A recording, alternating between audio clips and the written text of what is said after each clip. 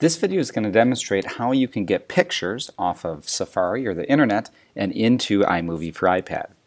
Here is the Safari icon. If I click on Safari, uh, it'll open up a Google page. So I'm just going to search for, I'll say the Dare logo. Once I search for that, it brings up search results. Uh, so I'm going to click on Images to show me images that deal with the Dare logo. Here you can see it brings up uh, a bunch of them. So I'm just going to pick this, uh, the top left Dare logo. And if I tap that logo, then it shows me uh, shows me the logo in preview mode.